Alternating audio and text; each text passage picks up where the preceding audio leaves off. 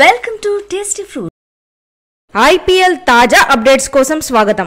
మరిన్ని తాజా అప్డేట్స్ కోసం మా ఛానల్ని సబ్స్క్రైబ్ చేసుకోండి. వాంఖడే స్టేడియం వేదికగా ముంబై రాజస్థాన్ జట్ల మధ్య జరుగుతున్న మ్యాచ్ నెంబర్ ఇరవై ఏడులో ముందుగా బ్యాటింగ్కు దిగిన ముంబై ఓపెనర్లు డికాక్ రోహిత్ శర్మ రాజస్థాన్ బౌలర్లకు చుక్కలు చూపించాలనే చెప్పాలి.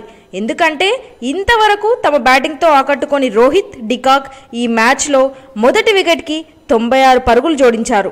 ఆపై రోహిత్ శర్మ ముప్పై రెండు బంతుల్లో ఆరు ఫోర్లు ఒక సిక్సర్ సహాయంతో నలభై ఏడు పరుగులు చేసి ఆర్చర్ బౌలింగ్లో క్యాచ్ ఇచ్చి అవుట్ అయ్యాడు.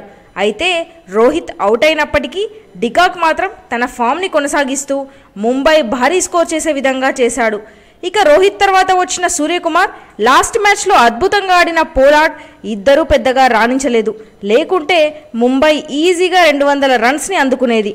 కానీ చివర్లో వేగంగా ఆడే క్రమంలో డికాక్ యాభై రెండు బంతుల్లో ఆరు ఫోర్లు నాలుగు సిక్సర్లతో ఎనభై ఒక్క పరుగులు చేసి వెనుదిరిగాడు.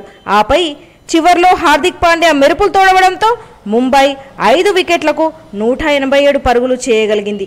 ఈ భారీ స్కోర్ను రాజస్థాన్ రాయల్స్ ఛేదిస్తుందో లేదో చూడాలి. Thank you viewers for watching our videos please subscribe our tasty fruit channel